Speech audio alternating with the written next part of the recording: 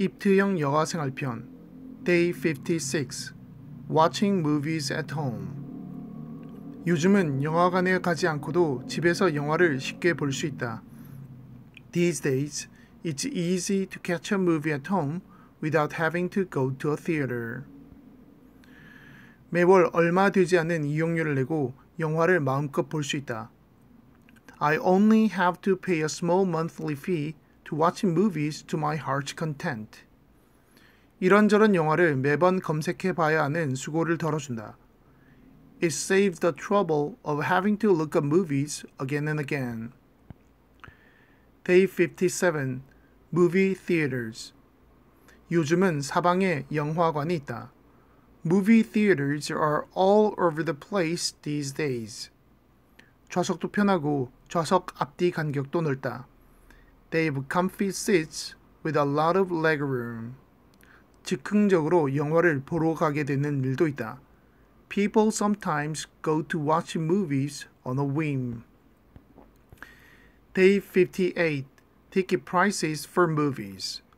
상영 시간에 따라 표 가격이 다르다. The ticket price depends on the screening time. 비싼 좌석에서는 화면이 잘 보인다.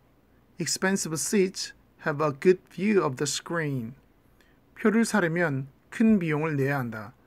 You have to pay through the nose for tickets. Day 59. Movie snacks. 원하는 맛은 무엇이든지 고를 수 있다. You can choose whatever flavor you want. 거기에서는 각종 차가운 음료, 뜨거운 음료를 모두 판매한다. They sell all sorts of beverages, both hot and cold. 탄산음료는 극장에서 파는 간식들과 가장 잘 어울린다. Soft drinks go best with snacks at theaters. Day 60. Drive-in theaters. 차 안에서 라디오 주파수를 맞추면 영화 음성이 들린다. You can hear the movie's audio by adjusting the radio in the car. 영화를 보면서 가벼운 음식을 먹을 수 있다. You can munch on snacks while you watch the movie. 다른 사람들을 신경 쓰지 않아도 된다. You don't have to be mindful of others.